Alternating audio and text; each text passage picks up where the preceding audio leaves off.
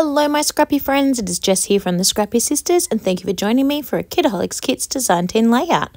So for this layout, I started with a 12 by 12 sheet of white paper. My desk is an absolute disaster zone, but it's all good. When you're in the creating spirit, you just work around the mess.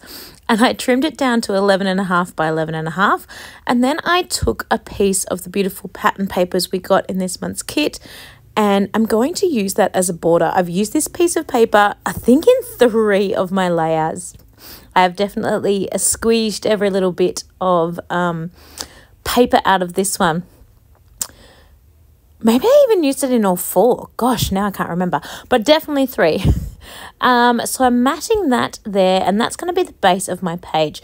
Now, this layout, I did create my own cut file, but it is very, very, very inspired by a Paige Evans layout that I saw from a very long time ago, maybe from about 2016. I myself has done this layout back in 2016. Um, it is called Cherish and it is on my own YouTube channel if you're interested in seeing it.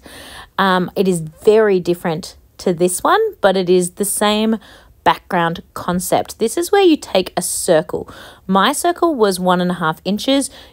Uh, you could use like even a circle punch and you just kind of fold in just the four edges a little bit so that when you fold them, the circular part like matches up. Um, that is really hard to explain.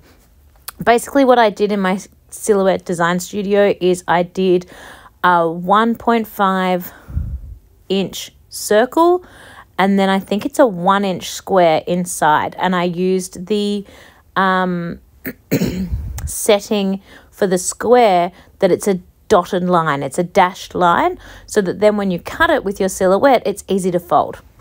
Uh, but it doesn't actually like completely come apart, if that makes sense. And I just used three pattern papers, three scraps of papers that I had left over from other layouts.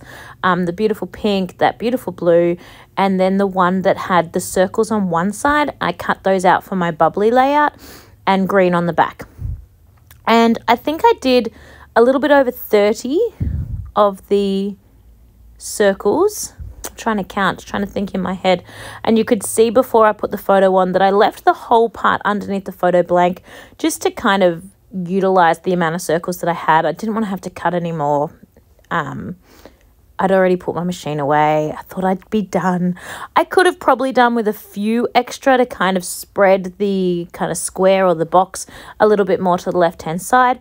But I do like the feel of this. It is a very um, right hand side sort of skewed layout. It is not sitting center and it was never going to be sitting center. I deliberately put my photos over to the right.